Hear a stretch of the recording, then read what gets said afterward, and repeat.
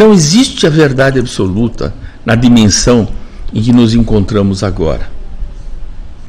O importante é, nesse momento, seguirmos o nosso coração e sempre analisarmos se o que vamos fazer é o melhor para nós, para os nossos irmãos e para o planeta, pois a nossa missão é o que? É evoluir. Essa é a nossa missão.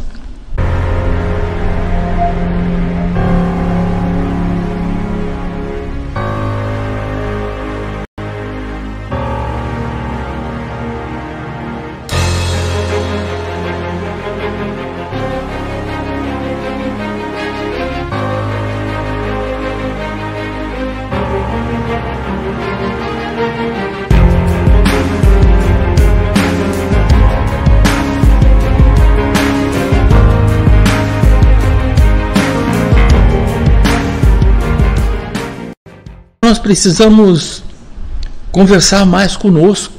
Sabe aquele diálogo? Conversar mais conosco. Dialogar conosco.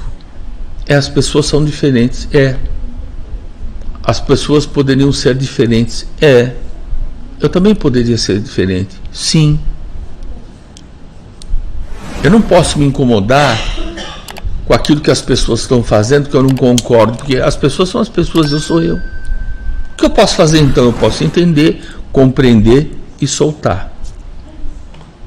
Será que vale a pena eu falar? Se eu falar, eu tenho que falar de uma forma tranquila, amena, com calma. Ok, minha gente? Isso é fundamental.